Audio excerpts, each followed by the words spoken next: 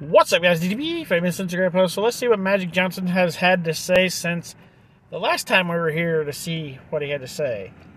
If there ain't a heart, I'm like I heart the ones that I read.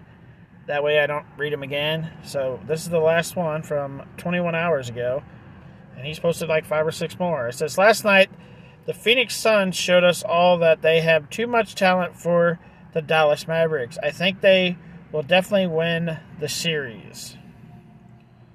So we're thinking the Phoenix Suns are going on at least to the playoffs, to the the final game. There's no way Philadelphia can beat Miami without Joel. Embiid. Miami is too talented, too deep, and well coached. Tonight I'm looking forward to seeing what the Grizzlies are made of after losing game one at home to the Warriors if the Celtics don't win this game tonight against the Bucks, the Bucks will sweep them. Wow. You did not give the Bucks even a even a little bit of a chance. So if they don't win or if the Celtics don't win, the Bucks are going to kick their ass all the way to the end.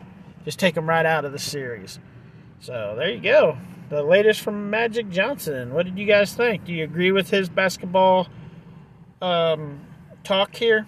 Let me know.